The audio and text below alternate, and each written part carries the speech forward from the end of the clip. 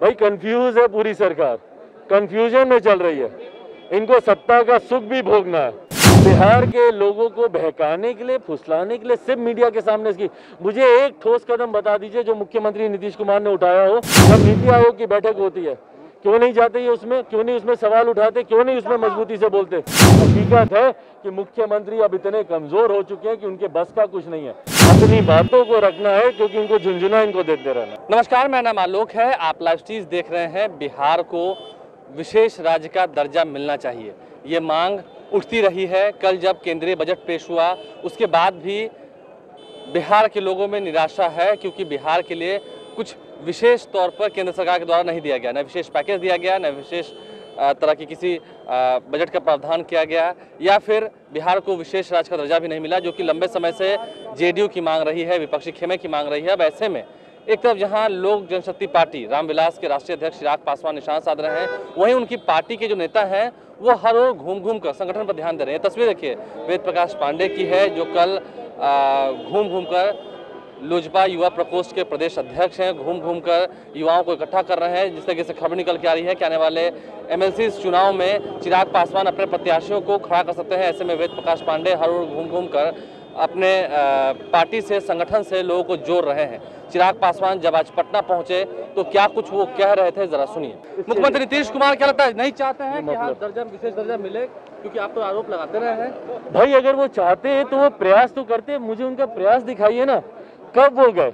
एक कमेटी लेकर जाते जाते मुख्यमंत्री गए थे ना जातीय जनगणना को लेकर। जाते प्रधानमंत्री से मुलाकात करते। विशेष राज्य की दर्जे की बात सिर्फ़ मीडिया के सामने। बिहार के लोगों को बहकाने के लिए फुसलाने के लिए सिर्फ़ मीडिया के सामने इसकी। मुझे एक ठोस कदम बता दीजिए जो मुख्यमंत्री नीतीश कुमार ने उठाया हो बिहार को विशेष राज्य के दर्जे। जब नीति आयोग की बैठक होती है क्यों नहीं जाते ये उसमें? क्यों नहीं उसमें सवाल उठाते? क्यों नहीं उसमें मजबूती से बोलते? कि भैया हम लोग को विशेष का दर्जा दे। जनता के सामने क्यों नहीं बताते कि क्या ऐसे प्रावधान है जिसकी वजह से हम लोग को विशेष राज्य का दर्जा मिलना चाहिए या क्या ऐसे प्रावधान है जिसकी वजह से हम लोग को दर्जा नहीं दिया जा रहा? जेडीयू के नेता कहते हैं कि ठीक नहीं हुआ निराश हुए हैं। मुख्यमंत्री लिखते हैं ट्वीट करते हैं कि सराहनीय है स्वागत योग्य है। भाई कंफ्यूज है पूरी सरकार। कंफ्यूजन में चल रही है। इनको सत्ता का सुख भी भोगना है। तो इसलिए भाजपा को नाराज़ भी नहीं करना, पर जनता के सामने अपनी बातों को रखना है, क्योंकि इनको झुंझुना इनको देते रहना। आपको अपने राज्य में, अपने प्रदेश के लोगों को, बिहार के लोगों को, आपको झुंझुना भी देना है। तो आप बताएँगे कि नहीं भैया, यहाँ पर विशेष राज्य का दर्जा नहीं मिला तो बिहार के लिए बजट ठीक नहीं है। हकीकत है कि मुख्यमंत्री अब इतने कमज़ोर हो चुके हैं कि उनके बस का कुछ नहीं है।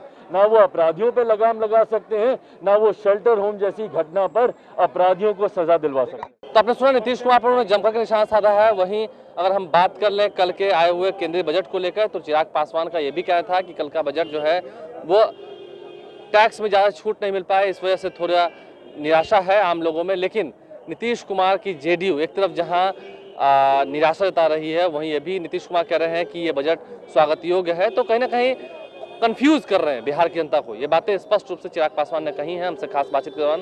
क्या कुछ उन्होंने बजट को लेकर कहा है, जेडीयू को लेकर कहा आपने सुना है। हमारे चैनल को सब्सक्राइब कर लें साथ साथ फेसबुक पेज भी लाइक करें। उनके नेता घूम घूम कर पूरे बिहार में युवाओं को अपने संगठन से जोड़ रहे हैं। आने वाले समय में चिराग पासवान अपनी पार्टी को और मज़बूत करना चाहते हैं। और अब देखना यह होगा कि एमएलसी चुनाव में जब वो प्रत्याशियों का ऐलान करेंगे, प्रत्याशियों के नाम की घोषणा करेंगे तो क्या कुछ तस्वीरें जो है सामने निकल के आती हैं। हमारे चैनल को सब्सक्राइब कर लें साथ साथ फेसबुक पेज भी लाइक करें। धन्यवाद।